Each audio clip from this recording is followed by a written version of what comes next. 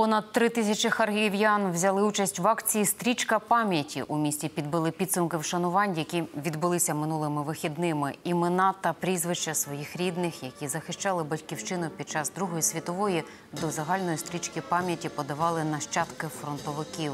Багато хто з них уже не застав своїх героїчних предків і знає про подвиг лише із родинних розповідей. Вийшло більше трьох тисяч імен.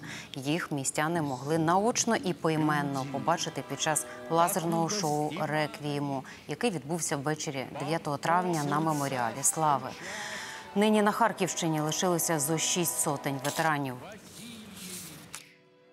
Очень много людей сегодня откликнулось на нашу инициативу, прислали э, фамилию, имя, отчество людей, которых уже, к сожалению, нет, но которые воевали. Кто-то из них погиб, кто-то из них остался жив, потом приехал в Харьков и восстанавливал Харьков. Но это наши земляки, и мы чтим их память.